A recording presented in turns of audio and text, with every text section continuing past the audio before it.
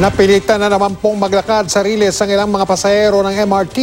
Yan ay matapos tumirik at umusok ang tren. Dahil sa nangyaring panibagong aberya, halos 20 minutong natigil ang operasyon ng mga tren sa ilang istasyon. Nakatutok si Susan Enriquez.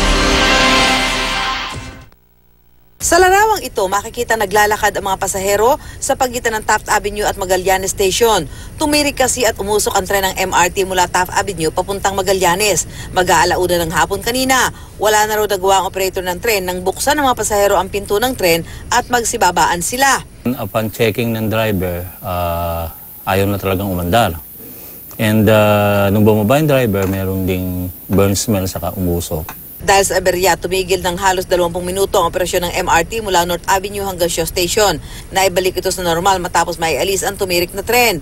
Ayon sa pamunuan ng MRT, kasama sa mga dapat nang irehab ang tumirik na tren. Bagamat nagsimula ang rehabilitasyon sa MRT3 mula noong Mayo 1 sa ilalim ng pangangasiwa ng maintenance provider na Sumitomo, hindi pa nare-rehab ang mga tren ng MRT na bumibiyahe ngayon.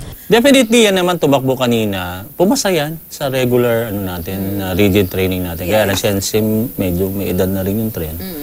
As you travel, medyo nagkakaroon ng depekto. Sa ngayon, hindi pa alam ang dahilan ng pagtigil ng tren. Iimbestigahan pa ito ng mga tauhan ng MRT at maging ng maintenance provider na Sumitomo.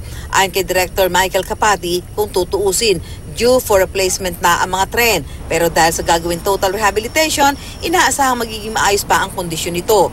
Bukod sa mga tren ng MRT, kasama rin sa i-rehab ang mga pasilidad ng MRT gaya ng riles, mga elevator at escalator. Mabilis naman, pero mahaba lagi pila. Ang nakakainis doon yung pag ganitong oras, dalawang tren hindi magpapasakay. Tapos isa pang ipangatlo sa kakasasakay. Okay naman po. Susan Enriquez, Nakatutok, 24 Oras.